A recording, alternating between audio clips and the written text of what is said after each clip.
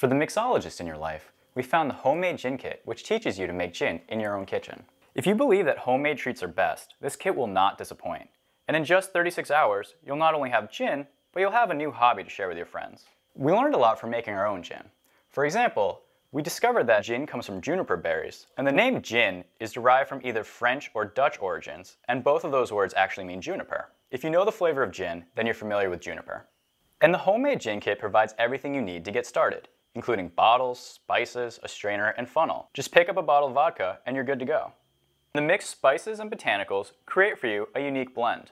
A gin tinged with amber and perfumed with juniper and lavender, the kit was designed by Joe Maliano and Jack Hubbard. The duo are from Washington, D.C. and refer to themselves as alcohol enthusiasts. They explored the idea of starting their own distillery, but as they realized the challenge and expense of opening a business like that, they decided that teaching people to make gin was much more achievable and equally fun. So Jack had kind of a light bulb moment. He said, instead of us distilling the gin, why don't we give people the tools to make the gin for themselves?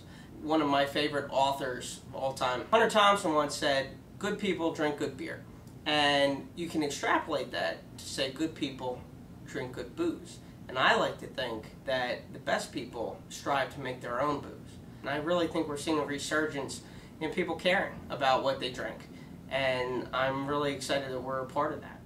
You may associate this with Prohibition's bathtub gin, but the homemade kit brings our modern day DIY and artisanal crafting movement to make flavored liquors at home. Everybody has their own preference, but we enjoyed our gin with tonic and a twist of lemon.